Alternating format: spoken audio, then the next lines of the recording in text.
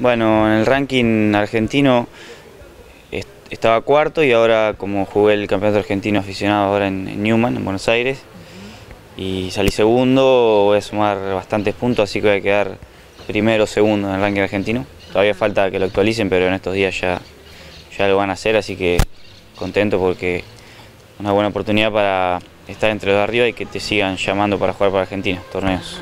Jugué en Mar del Plata, en Playa Grande, y quedé tercero, jugué bien también ahí.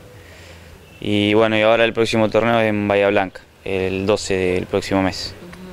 No, ahora en Newman un lugar nuevo, no conocía la cancha, pero después en Mar del Plata y en Bahía Blanca siempre se hace en la misma cancha todos los años. Se repite siempre todos los rankings, se hace un torneo ahí. No, la mayoría ya nos conocemos de hace mucho, sí, sí, venimos jugando hace un montón juntos, nos llevamos muy bien. Y siempre aparecen nuevos más chicos también que, que arrancan a jugar los torneos. Hace un montón me decís, ¿cuánto tiempo hace que estás eh, jugando? Y estos torneos de los 15 años más o menos, hace 8 años.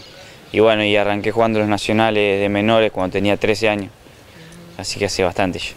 Y ha ido evolucionando, ¿no? Con el tiempo. Sí, sí, sí, por suerte pude ir mejorando y bueno, la idea es seguir yendo para arriba siempre, así que con ganas de seguir. Y ahora quedan cuatro torneos, el de Bahía Blanca y tres torneos más porque son 10 más o menos por año del ranking. Así que al final del, último torneo se suman los puntos de todos los torneos y el que más puntos sumó en base a cómo le fue en el año gana el ranking argentino.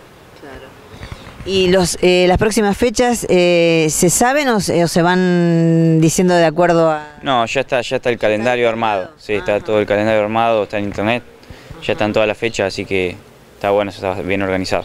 Generalmente viajo solo desde acá, pero en algunos torneos me van a seguir algunos de acá de Chacabuco, sobre todo algunos socios. Y si no me hace sentir el apoyo desde acá siempre, la verdad que me acompañan mucho, están muy, muy encima en lo, todo lo que hago, así que siempre le agradezco mucho porque es importante. Lo bueno es que entre los jugadores nos conocemos mucho y nos llevamos muy bien, entonces hay muy buen compañerismo. Entonces nunca estás solo por eso, siempre entrenamos juntos, estamos todo el tiempo juntos, o sea, no es que está cada uno por su cuenta, nos llevamos muy bien, entonces hay una sana competencia y además de acá te siguen mucho también, así que nunca te sentís solo para nada. Se necesita mucha concentración, ¿no? Sí, se necesita bastante, sobre todo cuando va a pegar el tiro, después cuando vas caminando estás relajado y puedes charlar con nosotros. Pero en el momento de tener que, pegar, tenés que estar bastante concentrado para no pensar mal y tratar de ejecutar bien el tiro que tenés que pegar.